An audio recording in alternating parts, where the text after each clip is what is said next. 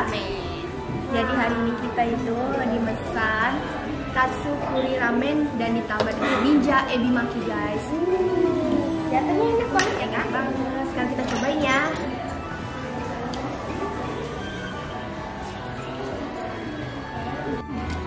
Enak banget emangnya kak? Aslinya enak banget. Rasa. Enak kok.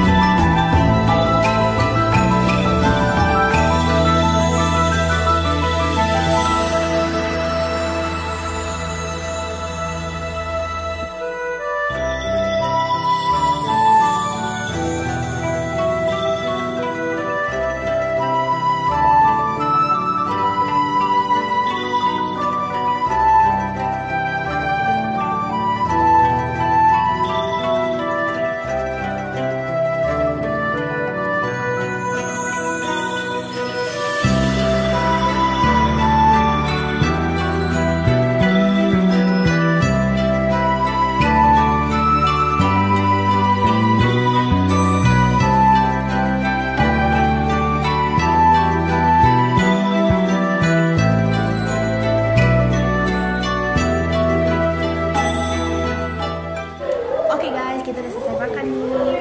Sampai sini dulu ya. Jangan lupa like, comment, share, and subscribe. Share video ini ke teman-teman kalian ya. Arigatou gozaimasu.